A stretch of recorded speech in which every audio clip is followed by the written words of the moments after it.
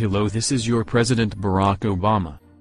I am here to address the uh, Wall Street Occupy protest. It is my understanding that the banks are getting out of hand with fees and charges. People are losing jobs. So what I'm going to do is create new banks all around the world.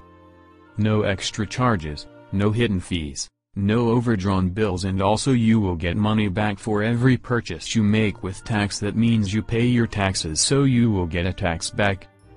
Check depending on how much you spent. The name of these banks will be the Pay Your Doggone Taxes and Stop Trying to Occupy Wall Street Banks. No I'm just kidding it will be named the O Bank Obama. Thank you all peace, love, and pay your taxes.